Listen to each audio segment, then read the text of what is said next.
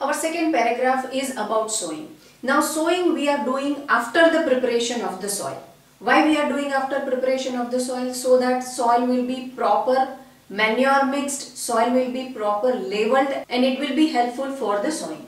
Now sowing seeds at appropriate depths and distance gives good yield. So when we are sowing the seed, these two things we have to remember that seed should be at appropriate depths. It should not be more at the top or it should not be more at the depth.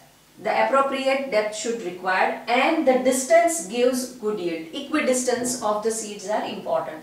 Good variety of seeds are sown after the selection of the healthy seed.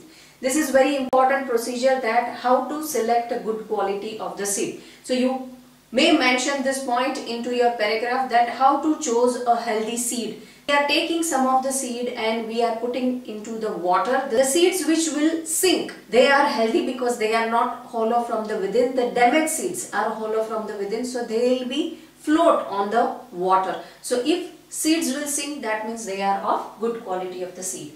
So that is how we are selecting the healthy seed. Then sowing can be done by funnel and that is a traditional tool and the modern tool which we are using is seed drill. So there are two types of tools for the sowing funnel and seed drill and seed drill is preferred over funnel because it does sowing at equidistance and it maintains proper depth for the seed. So it is important for the healthy growth of plant.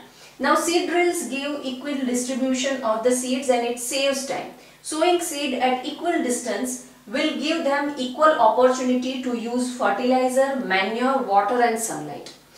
While we are using funnel, what will happen that at some places more seeds are there, some places less seeds are there. So where more seeds are there, their plants will be crowded and they will compete with each other for the fertilizer, for sunlight, for water and as a result we will not get a healthy plant growth. Equal distribution of seeds give them equal opportunity to use whatever we are providing to them. And less space between the plants will lead to less production of the crop. So it is very important that seed should be healthy, seed should be placed at proper depth. And third, seed should be placed at equidistance. And before that preparation of the soil is important.